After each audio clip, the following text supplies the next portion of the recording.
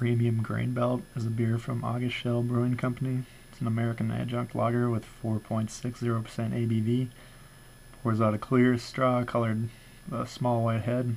There's minimal to no lacing. Nose has a fair amount of grain. It's mainly dominated by sweet adjunct malts. It's not really particularly pleasant. And the taste is really sweet. It's too sweet. Besides the sweet malts, there's a bit of graininess and some corn flavor. The malt is light and crisp.